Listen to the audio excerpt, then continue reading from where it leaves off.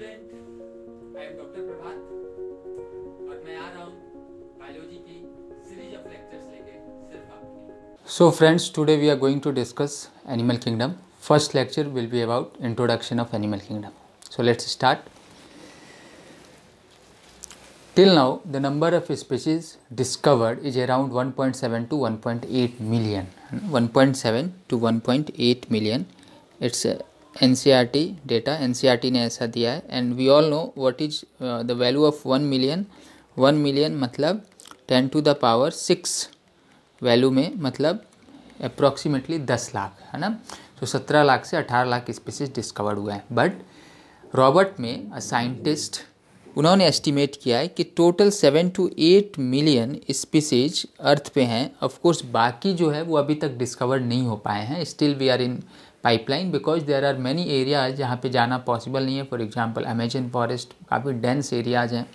So estimate of Robert May is that seven to eight million species are there on earth are there on earth and life span of human of male in India it sixty eight year of female is seventy year but approx लेते हैं hundred year चीज़ों को थोड़ा आसान करने के लिए यदि हंड्रेड ईयर लेते हैं और थ्री सिक्सटी फाइव डेज़ यदि हम लें तो एक इंसान के लाइफ स्पेन में करीब करीब थर्टी सिक्स थाउज़ेंड डे है पढ़ाई करने के लिए। Even though if you study one species per day it's not possible to cover all seventeen to eighteen lakh species it means the classification is required for what is it possible to study these animal one by one no so what is the requirement of classification to make the study simpler to make the study simpler ठीक है जी? Second example of medical shop example of library क्या है ये? आपने देखा होगा, आप कोई भी प्रिस्क्रिप्शन लेके जाते हैं, दवा की दुकान पे, दवा की दुकान वाला, फटाफट वो प्रिस्क्रिप्शन में जो भी लिखा है, लेकर आ जाता है आपके पास। क्यों? Why how it's possible because उस बंदे ने उस दवा की दवा जो दवा है उसे अच्छे तरीके से अरेंज कर रखा है सिक्वेंसल तरीके से। वैसे लाइब्रेरी में मान लो आपको जूलॉजी की बुक चाहिए। First you will go to science segment science segment में से बायोलॉजी सेगमेंट बायोलॉजी में से जूलॉजी सेगमेंट और जूलॉजी सेगमेंट में से यदि लाइब्रेरी अच्छी है तो ऑथर के नेम के हिसाब से अल्फ़ाबेटिकली अरेंज हो सकता है। सो so, यदि आप चीज़ों को क्लासीफाई करके रखेंगे अच्छे से रखेंगे स्टडी सिंपल होगी आप किसी भी स्पीसीज तक आसानी से पहुँच सकते हैं। ठीक है? Next, what is taxonomy? Taxonomy is the branch in which we study about the nomenclature, classification and the principle of classification. So, three things, nomenclature, classification and principle of classification and what is nomenclature nomenclature का मतलब होता है naming है ना? कि, किसी चीज़ को कैसे नेमिंग देना है उस प्रिंसिपल को हम नोमिन क्लेचर बोलते हैं। Now the word taxonomy is coined by Candolle Candolle a scientist उन्होंने ये वर्ड क्वाइन किया था taxonomy and the first time the classification was Tide by Aristotle Aristotle अरस्तु एक great scientist also known as father of zoology and he has written a book Historia Animalia Historia Animalia is authored by Aristotle. ना Aristotle ने सबसे पहले try किया था classification कैसे। काफ़ी वेग क्लासिफिकेशन था, देखिए, उन्होंने सारे ऑर्गेनिज्म को दो पार्ट में डिवाइड किया। क्या थे वो दो part enaima and anaima मतलब आरबीसी या ब्लड एब्सेंट आरबीसी या ब्लड एबसेंट इन एमा मतलब आरबीसी और ब्लड प्रेजेंट और जो लोग इन इमा थे उनको भी इन्होंने दो पार्ट में बांटा वीवी पेरा एंड ओबी पेरा। वीवी पेरा मतलब यंग वंस को जन्म देने वाले ओबी पेरा मतलब एग ले करने वाले। सो वीवी पेरा मीन्स ये लोग they give birth to young ones और दे ले एग्स है ना? But you can appreciate that it's a very vague classification देखो it's a very vague classification even some of the animal do not have the R B C and plant of course हमें पता नहीं होता। So so, कई तो animal और plant को हमने एक ही कैटेगरी में रख दिया, यदि हम ये वाला सिस्टम फॉलो कर रहे हैं तो hence it was rejected since it was very vague type it was rejected next classification was Tide by Carolus Linnaeus a great scientist he he was a Swedish botanist Switzerland से belong करते थे.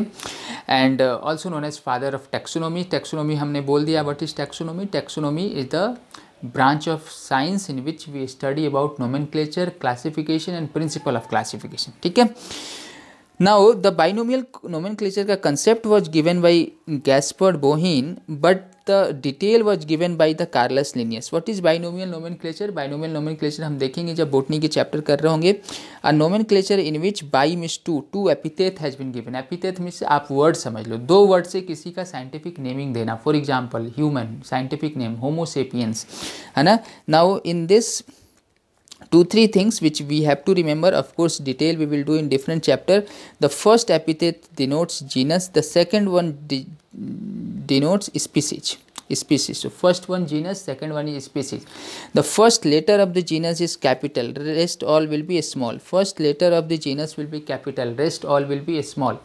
If we are writing the name it will be underlined. If it is printed then it is italics underlined. If it is printed then it is. If printed, then it will be italics italics. ठीक है? तो ये कुछ binomial nomenclature के rules हैं। Details हमें करने अभी के लिए आप इतना याद रखिए। Now the three important book written by three important book written by Carolus Linnaeus as Systema Naturae Species Plantarum and then Philosophica Botanica ठीक है? And the Carolus Linnaeus has given two kingdom classification what was the two kingdom classification उन्होंने सारे organism को दो kingdom में बांटा plant kingdom and animal kingdom so the after Aristotle next classification was Tide by Carolus Linnaeus two kingdom classification के बाद आया three kingdom then four kingdom then five kingdom three kingdom given by Haeckel इन्होंने क्या add किया उसमें? Already Carolus Linnaeus ने plant kingdom animal kingdom दे रखा था। इन्होंने इसमें क्या ऐड किया? इन्होंने इसमें ऐड किया क्या? प्रोटिस्टा प्रोटिस्टा उसी तरह यदि कॉपलैंड पे हम आते हैं कॉपलैंड ने फोर किंगडम क्लासिफिकेशन दिया, क्या plant kingdom animal kingdom Protista तो ऑलरेडी हेकल ने दे रखा था, इन्होंने इसमें कुछ ऐड किया। क्या था वो? मोनेरा मोनेरा उसके बाद अभी हम क्या देख रहे हैं? R H Whittaker five kingdom classification given in 1969 इन्होंने क्या ऐड किया इसमें? Plant kingdom animal kingdom Protista Monera already दे रखा था कोपलैंड ने तो इन्होंने क्या ऐड किया उसमें? Fungi fungi fungi and then three domain classification by Carl Woese what was three domain classification इसको समझिए। थ्री डोमेन क्लासिफिकेशन समझने के लिए यहाँ पे हम लिख लेते हैं। इन्होंने बोला कि यू कैरियोट्स को मैं एक साइड रखूँगा सारे यू कैरियोट्स को हम एक साइड रखेंगे और प्रो कैरियोट्स को एक साइड रखेंगे। एंड प्रो कैरियोट्स में सारे क्या आते हैं? प्रो कैरियोट्स में सारे के सारे आ, आपके प्रो कैरियोट में बैक्टीरिया आते हैं। सो so, इसमें eubacteria and archaebacteria. दो इन्होंने डोमेन अलग अलग बनाए eubacteria and archaebacteria. Archaebacteria हम आगे पढ़ेंगे includes three different types of bacteria halophiles halo मतलब salt loving and then thermophiles मैं अलग लिख देता हूँ uh, एक मिनट यहाँ मैं अलग लिख देता हूँ। प्रोकैरियोट्स को इन्होंने दो में बांटा क्या eukaryotes and prokaryotes prokaryotes prokaryotes को उन्होंने बांटा, archaebacteria and eubacteria eubacteria. ठीक है? So this was the three domain यदि आप थ्री डोमेन इसमें बोलें तो one eukaryote second archaebacteria third eubacteria. ठीक है?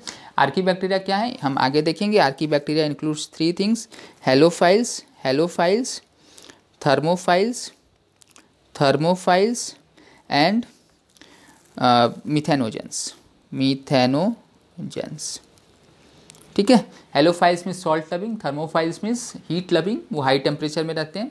And then methanogens they have capability to form methane gas so this was the three domain classification इस five kingdom classification में थोड़ी सी बात हम करते हैं। What is Protista what is Monera Monera all the prokaryote will come under monera. So, prokaryotes nothing but monera. Prokaryotes are monera. What is protista? Protista all eukaryotes all eukaryotes unicellular. Unicellular eukaryotes. Unicellular eukaryotes will be what? Protista. All prokaryotes will be monera.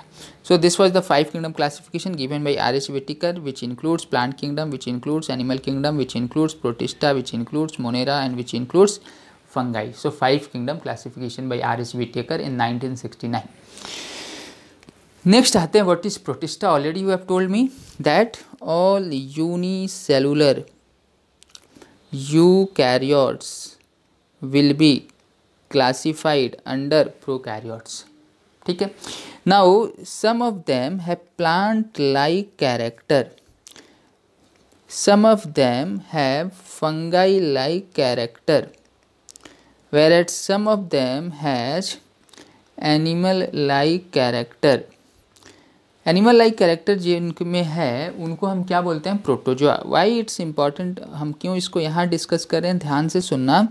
When we will start the animal kingdom we will start with the protozoa but you have to remember even though we are study the protozoa under animal kingdom but it belongs to which kingdom it belongs to protista. Then why we are studying this under animal kingdom? Because it has animal like character.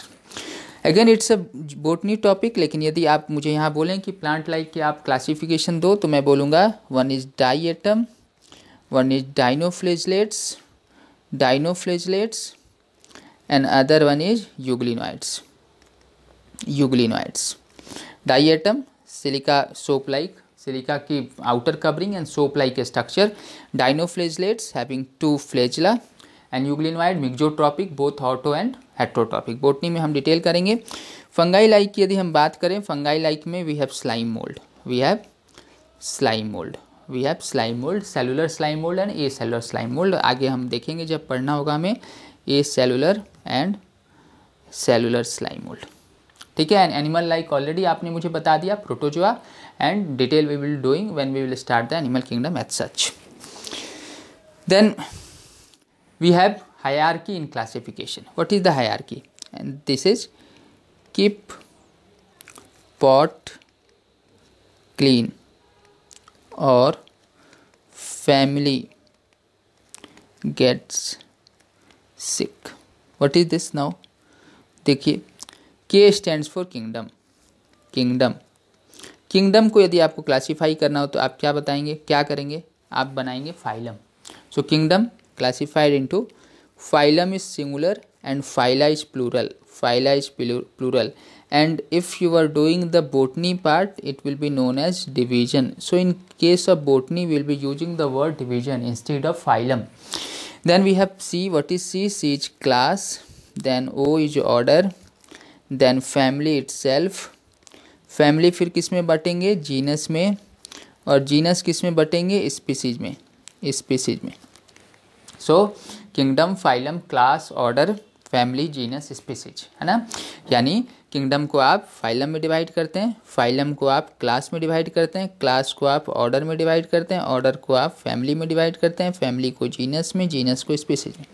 आप यदि बोलें कि हमें एक example दो तो we can write example side by side देखिए, यदि आपसे बोला जाए एनिमल किंगडम के बारे में बताओ सो एनिमल किंगडम हम आगे करेंगे have animal kingdom have approximately 11 major phylum and uh, 20 to 21 minor phylum so animal kingdom को हम फाइलम में बांटेंगे। एक एग्ज़ाम्पल हो गया फाइलम का chordate so chordate is one example of phylum chordate को आप बोलो कि फर्दर डिवाइड करो हम क्लास में बांटेंगे। एक एग्ज़ाम्पल हो गया Mammalia so Mammalia is a class Mammalia को हम फर्दर ऑर्डर में बांटेंगे। एक एग्ज़ाम्पल हो गया primate so primate is a order primate is a order primate is a order primate को हम फैमिली में बांटेंगे। एक एग्ज़ाम्पल हो गया फैमिली का क्या?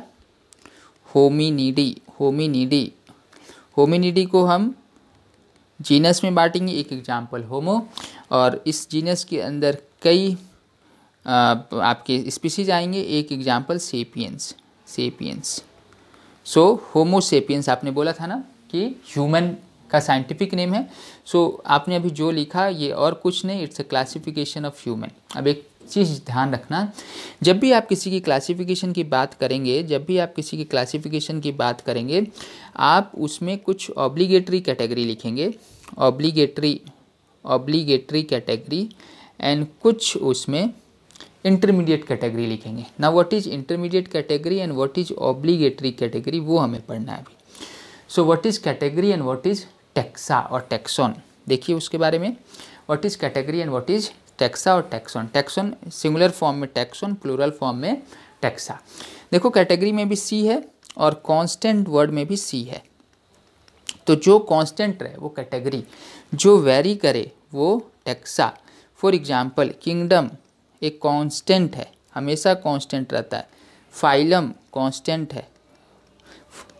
देखो एग्ज़ाम्पल किंगडम आप प्लांट किंगडम बोल सकते हो एनिमल किंगडम बोल सकते हो, आप मोनेरा बोल सकते हो. आप फंगाई बोल सकते हो तो देखो कितनी चीज़ें बदल रही हैं। बट किंगडम इज़ कांस्टेंट यानी कांस्टेंट है। वही यदि फाइलम की बात करेंगे फाइलम कॉर्डेट आपने मुझे बताया।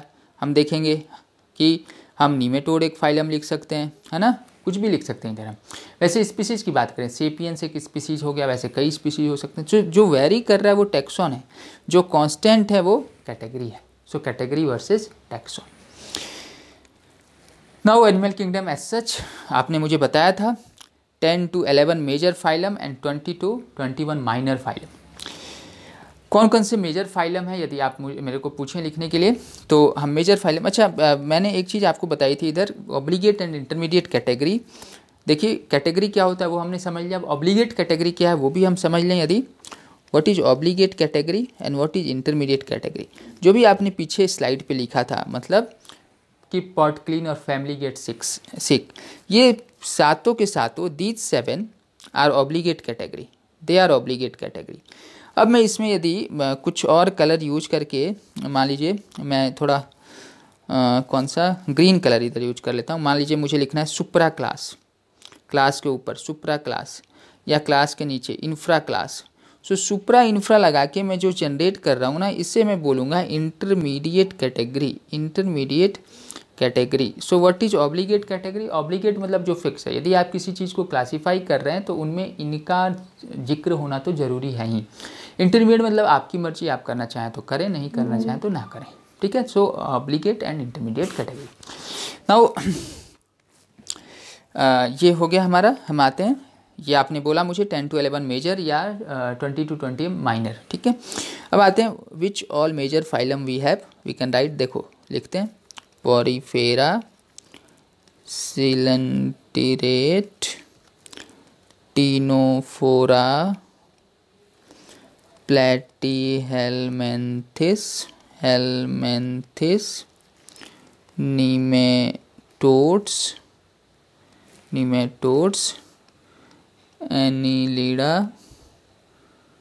annelida then orthopoda mollusca echinodermata dermata then hemichordate chordate and then chordate ठीक है? So they all are the major phylum of animal kingdom अब आप बोलें कि याद कैसे रखेंगे? बिकॉज़ सीक्वेंस याद रखना इज़ इंपॉर्टेंट फॉर अस देखिए सीक्वेंस याद रखने के लिए हमने बोला पी सी टी टीनोफोरा को टी से प्रोनाउंस करते हैं ना? So P C T please please note note and and also also make make each each hormone hormone correctly correctly C T please note and also make each hormone correctly the mnemonic for remembering the sequence of the major phyla of animal kingdom ठीक है next, we have basis of classification. Dear friend, we will start this topic into next video. I hope आपको ये video अच्छा लगा होगा. Please go to the channel subscribe it like it and share it with your friend thank you all the best keep working thanks